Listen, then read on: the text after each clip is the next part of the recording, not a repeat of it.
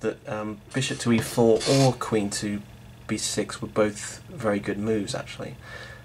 But I think he was. Uh, I mean, there was only there's only really two good moves in the position. That was bishop to e4 and queen to b6. So perhaps maybe that was why.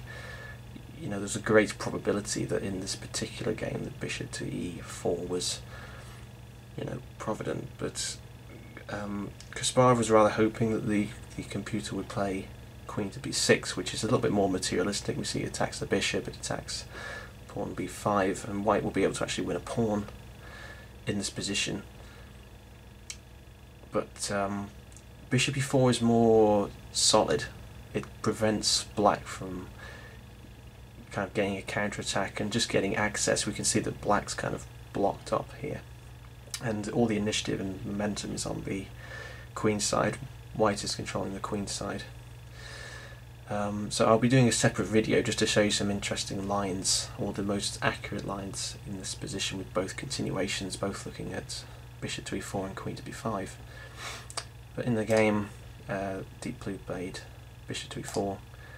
Now we see a trade of rooks. Um, I haven't analysed the last part of the game so much, so I'm going to go over that just briefly. Um, so we can see white is attempting to penetrate on the queen side. Okay, and then we see rook check, so can't capture the queen because of check. Uh, king moves, and um, okay, so we see the queen come across. Now, uh, black doesn't want to trade queens. Um, this wouldn't be good for black, but it's pretty much forced after white's continuing move. But he did find Kasparov did find a slightly better way, which interestingly led to a draw, which he didn't recognise at the time uh, because of the sort of controversy and emotional upset that was caused due to the game. Um, so Kasparov offering to trade the queens this way with queen b6 check.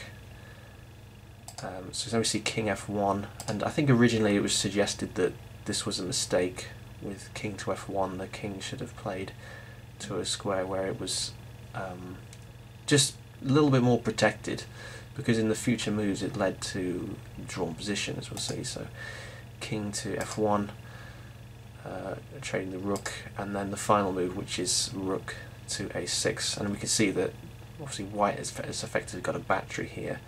And if the queen if the black queen moves away then the bishop will be captured. So all these variations are going to be winning for um, white.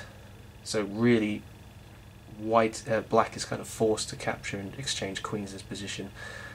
But interestingly, what was overlooked here is that there is a possibility of this. This actual final position is a draw, because it turns out that white doesn't have enough time to uh, checkmate the black king. When I mean, there's other variations of this game showing exactly how that happens. But essentially, most of the lines are looking where the queen can sort of come down. The game just make use of all these dark squares. So um, there are some other videos on YouTube if you want to watch out about that. Okay, so I'm going to leave it here for that for now, um, and I'll be analysing some further lines and more specific parts of this game a bit later.